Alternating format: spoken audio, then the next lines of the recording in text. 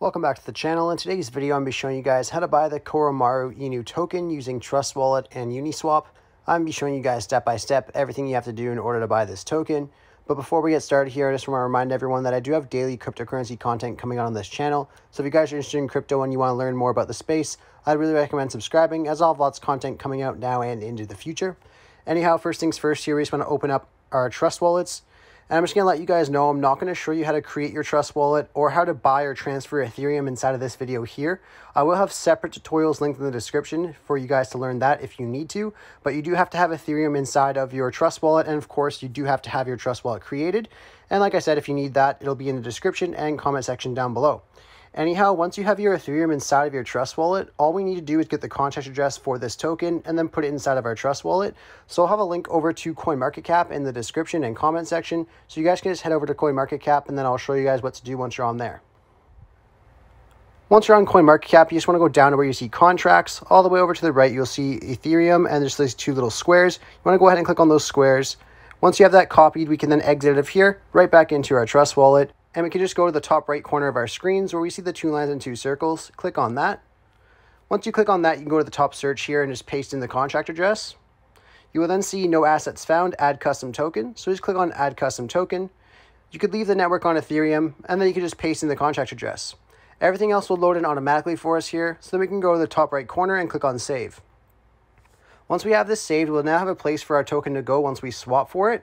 So we can just back out of here back to our main page in our trust wallets and then we can head over to the exchange. So I'll have a link over to Uniswap in the description and the comment section down below. So you guys can just head over to Uniswap and then I'll show you guys what to do once you're on Uniswap. And once you're on Uniswap here, you just want to go to the top of your screen where you see the Connect Wallet button and click on Connect Wallet. Once you click on that, you can go ahead and click on Wallet Connect. And then it's going to ask you to choose your preferred wallet. So right here, we can choose Trust Wallet, but you guys can use any one of these wallets if you have them. So like MetaMask is another popular one. You can use that if you would like to. But in this video, I'm going to be showing you with Trust Wallet. So we're going to click on Trust Wallet. Once you click on Trust Wallet, it's going to pop up this interface here asking you to connect Uniswap to your Trust Wallet so we can swap Ethereum for the token. So you want to go ahead and click on Connect, then head right back into our Uniswap. Now, once you're back in Uniswap, you'll know your wallet's connected when you see your wallet address up in the top corner here, as well as your balance of Ethereum right below Ethereum right here. Now, all we have to do is select a token. So we can click on the select a token button and then paste in the contract address right in this top search again. Once you do that, you can click on import for the token and then import one more time. Once you have the token and Ethereum inside of here, you will have to set a slippage tolerance. So you guys can go beside swap all the way over to the right and click on little settings gear once you click on the settings gear, it'll show auto. You can leave it on auto and try to see if it goes through. Uh, but depending on the liquidity, you may not be able to do it on auto and you may have to put in a slippage tolerance. Now, usually the general is 12% for these tokens. You guys can try 12% if auto does not work for you, but you can feel free to try lower and a bit higher if that does not work for you. It's just based on the liquidity, so you do have to play around with it because it will change every second of the day. Uh, but anyways, you just want to go in here and set in your slippage tolerance if it does not work, or else you can just leave it on auto, like I said. Once you have that set up though, you can then exit out of here and then you just have to put in the amount of Ethereum that you want to transfer into the token. So let's just say, for example, you want to do 0.5 Ethereum. You can go ahead and put 0.5 Ethereum in, and then it will show you the amount that you'll get in exchange for your 0.5 Ethereum. Now, if you're okay with this, you can go ahead and click on swap where it says insufficient ETH balance. Once you guys click on swap, it's going to show you a broken down version of your transaction, showing you your withdrawal fees and your gas fees and things like that.